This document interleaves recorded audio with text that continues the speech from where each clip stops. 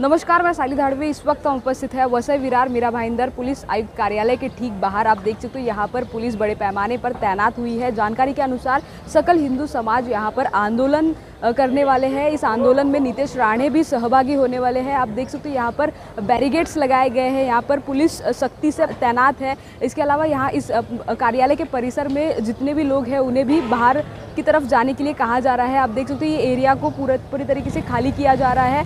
इसके अलावा आपको बता दें कि कल जो हिंसा हुई थी मीरा रोड में जो रैली निकाली गई थी हिंदू समाज द्वारा, उन पर जो हिंसा हुई थी, उसी को लेकर कहीं ना कहीं जो सकल हिंदू समाज है, वो आक्रोशित हुए हैं, जिस कारण यहाँ पर आज वो आंदोलन करने वाले हैं। और भी कई कारण हैं, उनकी मांगे हैं, जिनको लेकर आज वो पुलिस कार्यालय के यहाँ पर आंदोलन करेंगे। अब देखना होगा कि जब आंदोलनकारी यहाँ पर उपस्थित होंगे तो क्या कुछ स्थिति देखने को मिलती है। अभी के लिए बस इतना ही, फिर होगी मुलाकात।